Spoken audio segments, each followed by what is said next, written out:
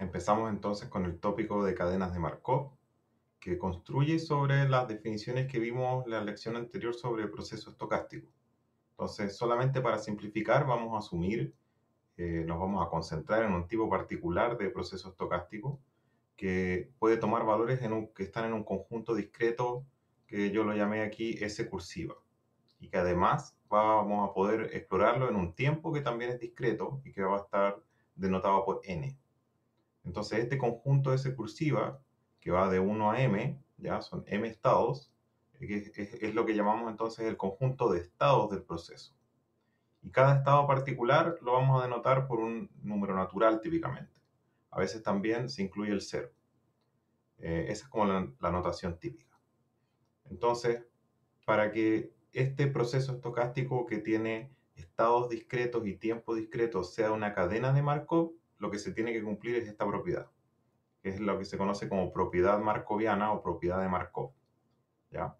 Entonces, yo, por supuesto, siempre puedo escribir la probabilidad de, de una variable condicionada a todas las demás.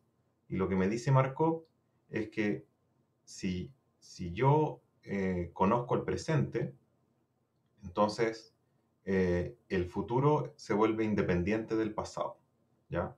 Es una, eh, es una independencia condicional. Entonces el estado futuro es independiente del pasado dado que yo conozco el presente. Y eso es lo que se resume por este lado de acá. Entonces estamos simplificando esta expresión, la de la izquierda. ¿Ya? Em, además, como ya dijimos, la cadena de Markov que estamos estudiando ahora tiene estados discretos, ¿ya?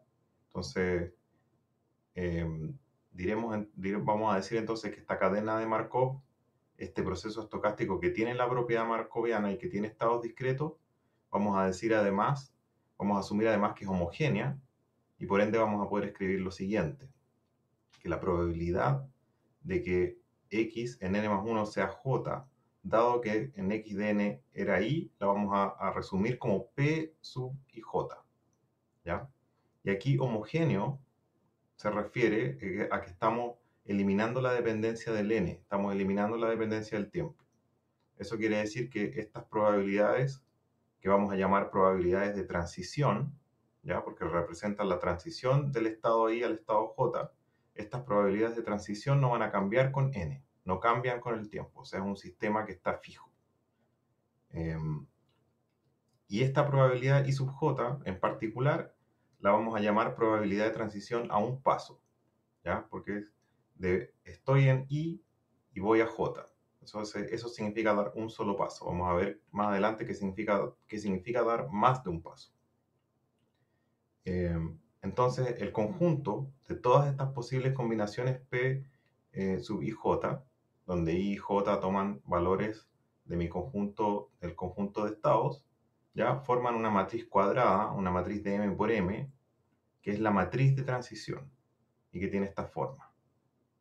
Y que tiene algunas propiedades, por supuesto, todos sus elementos son valores reales que están en el rango 0,1. Ya cada uno de estos es una probabilidad, entonces están en el rango 0,1, son mayores que 0. Eh, y por supuesto, además, como, como probabilidades, cada fila de esta matriz de transición tiene que sumar 1. ¿Ya? Ya. Este, esta matriz que cumple estas propiedades además se llama matriz estocástica. Eh, y en general una matriz estocástica, como este caso particular de la matriz de transición, se puede representar como un grafo dirigido, una figura como la que tenemos acá, donde los vértices corresponden a los estados. Aquí tenemos un ejemplo de, una cadena de Markov que parte en cero, tiene el estado cero, tiene estado 1, 2 y 3. Entonces son cuatro estados, esos son sus vértices. Y las aristas eh, o estas flechitas tienen asociado un peso que es la probabilidad de transición. Entonces, yo puedo tener un sistema, una cadena de Markov representada como eh, la matriz P o eh, de esta forma en este grafo y es prácticamente la misma información, es equivalente.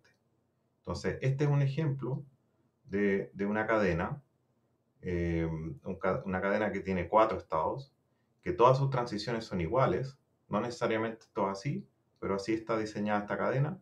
Todas sus transiciones son iguales a un medio y, en general las transiciones que tienen probabilidad cero, ya porque se fijan, el estado cero puede ir a 1 y puede ir a 3, pero no puede ir a 2 y tampoco puede ir a sí mismo. Entonces, la probabilidad de ir a 0 dado que estoy en 0 es 0 y la probabilidad de ir a 2 dado que estoy en 0 también es 0. Y esas probabilidades que tienen, o sea, esas transiciones que tienen probabilidad 0 no se muestran, ya se omiten. Ya este entonces es un ejemplo de grafo dirigido, de cadena de Markov. Aquí hay otro, ¿ya? Entonces aquí tenemos también cuatro estados, que también en esta notación parten en el 0, 0, 1, 2, 3. El estado 1 tiene posibilidad de ir, eh, de ir a 0 o de ir a 2. El 2 tiene probabilidad de ir a 1 e ir a 3. El 3 tiene solo probabilidad de ir a sí mismo y el 0 también. Eh, una cosa que no mencioné es que, como yo dije, las filas de esta matriz tienen que sumar 1. Eso tal vez es un poco difícil de entender por qué viendo solo la matriz, pero viendo la figura podemos ver que una fila, por ejemplo la fila 0 aquí, la, fila, la primera fila, tiene, tiene eh, estos componentes, que son todas las flechas que salen del 0. Entonces, una flecha sale al 1 y una flecha sale al 3. Y por supuesto, esas probabilidades tienen que sumar 1. Eh, y lo mismo podemos ver acá. Entonces, del 2 salen dos flechas, una con un medio y otra con un medio, tiene que sumar 1. Del 3 sale una sola flecha, mismo y tiene que sumar 1, entonces es igual a 1. Y así para todas las demás. Ahora, eh, bueno, notemos entonces varias cosas. A diferencia del anterior, aquí sí tenemos algunas transiciones sobre el mismo estado, unas transiciones recursivas, em, pero también, a diferencia de este, de este caso de acá, podemos ver que hay dos estados que son el 0 y el 3, que una vez que yo llego a ellos, si es que llegar a ellos, ya no puedo salir, ya no puedo volver a 1 a uno o a 2. Una vez que caí en el 0, me quedo aquí por siempre. Lo mismo con el 3. Una vez que caí en el 3, ya no puedo salir. Y eso se conoce como un estado transitorio o transiente. A continuación lo que vamos a hacer es simplemente dar algunas definiciones para tener como el lenguaje común. Em, entonces, estos estados de los que yo no puedo salir se llaman estados transientes. Por otro lado, los estados a los que yo sí tengo posibilidad de retornar, como el 1 y el 2, esos se llaman estados recurrentes. ¿Ya? Entonces tenemos ahí dos definiciones, estado transitorio como el 3 y el 0 y estado recurrente el 1 y el 2. Ahora, eh, cuando tenemos eh, algunos estados como el 0 y el 1, de los que yo no puedo retornar, entonces se dice que la cadena está en un estado o, o se conoce como cadena reducible.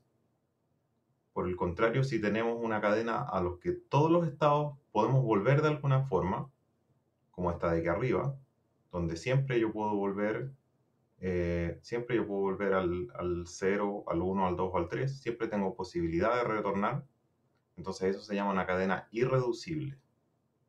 Y este tipo de cadenas irreducibles eh, es bien interesante, tiene unas propiedades que nosotros vamos a estudiar en esta lección y que vamos a aprovechar.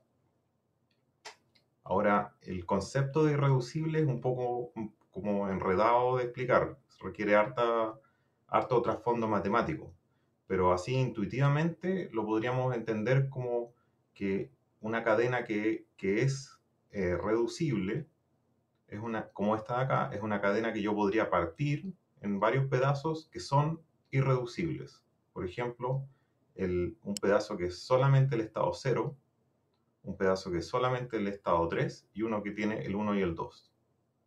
Entonces, eso podría, esa, esa división me daría tres cadenas que son irreducibles, a partir de esta que es reducible. Eh, y esta cadena en particular es una cadena famosa porque es de un problema que se conoce como la ruina del apostador. Entonces aquí yo les dejo unos links si es que quieren profundizar. Eh, pero les recomiendo que los revisen después de, revisar, después de que terminen de ver los videos, porque hay varios conceptos que les van a servir de esta clase para entender eh, especialmente el segundo link, ¿ya? El primero es un link a Wikipedia que describe más o menos el problema y el segundo eh, es ya el, eh, de dónde saqué esta figura, de hecho, donde se usa cadena de Markov para resolver el problema.